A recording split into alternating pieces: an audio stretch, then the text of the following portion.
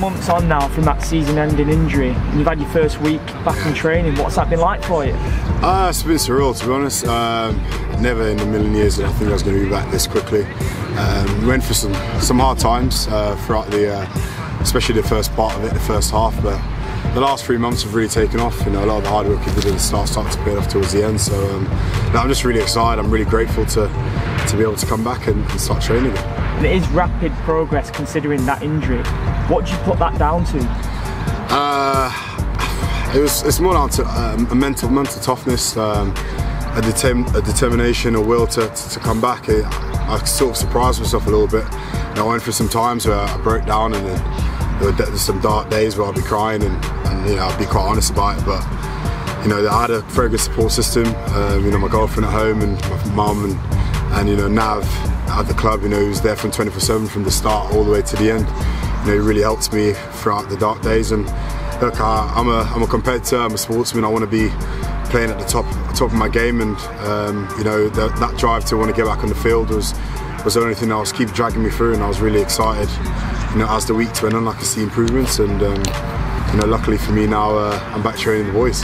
Last November, when you were on crutches, you were at a panel event. I remember asking you whether you thought that going through adversity like this would help your growth as a player and a person. Now coming through on the other side, do you think that's been the case? Massively. Um, you know, a lot of people ask me, um, you know, what, what's my, uh, is that my, is this my greatest achievement? Um, from a life point of view, this is, you know, my biggest achievement there is. Um, you know, I never in in a million years um, thought from from the extent of the injury that I'll be back training at this time anyway um, and having been told, you know, by the surgeon that it was, you know, potentially, you know, 50-50 whether or not I'd be coming back. Um, you know, that was a real drive for me, and you know, I had a lot of good people around me as well, which, like I said previously, you know, helped me along the way. But there's just that that drive and that will to, to, to come back and prove everyone that I'm, you know, I can get back and play at the highest level. And that's my only driving factor, um, and I'm really excited about you know, getting back to getting back to rugby and getting back into the games. And coming back, time a lot of time has obviously passed, and the dynamic, dynamics of the club has changed. What are your views on the club right now, and do you feel like it's a fresh start for yourself as well? Um, yeah, it is, and you know, like you said about the adversity, you know, I, I didn't really prepare myself really for, for what happened. It was kind of sort of, it took me after the first couple of months, you know, it really started to, to hit home how, how difficult this process is going to be. But you know, being here, um, being around the boys, you know, watching them succeed and getting to that top six last year was massive. You know, I was trying to as much as possible try to support the boys off the field and come to the games and supporting them. And you know, we've got ourselves into a real good position now going into this year.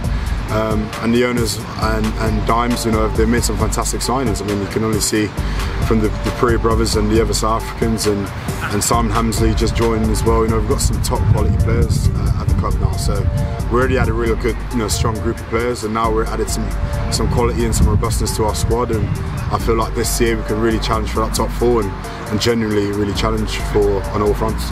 And it's clear that you're growing in confidence. You know, after travelling to Philadelphia, going to all these places and growing as a player and training. But I'm guessing you're drawing different energy now, being around the lads where you know you're going to be fighting for championships, you're going to be looking to win key games, and you're going to be drawing energy from the fans this season.